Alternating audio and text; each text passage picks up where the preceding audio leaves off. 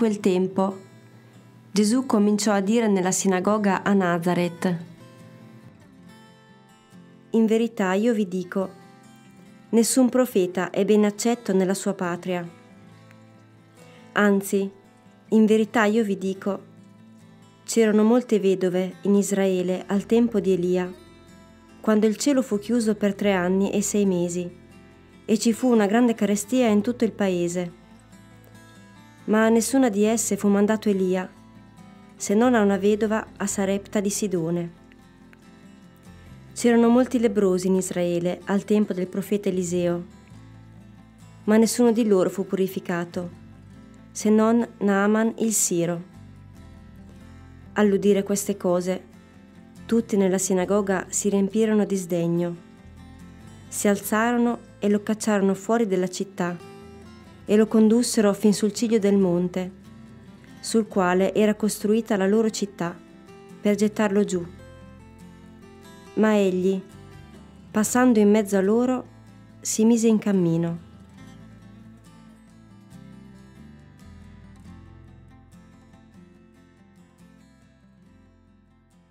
Siamo al processo religioso di Gesù. Gesù è condannato dalle autorità religiose. Oggi siamo a Nazareth, nella sinagoga, ma è chiaro il parallelo con il processo da parte delle somme autorità del Tempio. Ricordate il sommo sacerdote che sdegnato si straccia le vesti? Gesù è processato e condannato a portare la croce e uscire fuori dalle mura di Gerusalemme Infatti cosa dice il Vangelo di oggi? Si alzarono e lo cacciarono fuori dalla città. E dove lo portano? Sul ciglio di un monte. Anche qui è chiaro il parallelo con il Golgota. Il basso monte fuori delle mura di Gerusalemme. Fin qui quindi è chiara la traslitterazione da Nazareth a Gerusalemme. Ma vediamo il finale.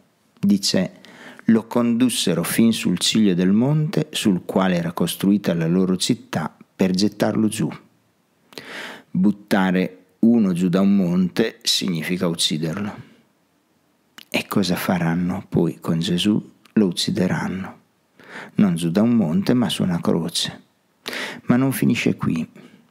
L'Evangelista Luca elegantemente aggiunge quella frase che, se tolta da un contesto teologico, risulta alquanto bizzarro. Infatti, com'è possibile immaginare Gesù condotto fino alla cima del monte per essere buttato giù e lui tranquillamente passa in mezzo a loro?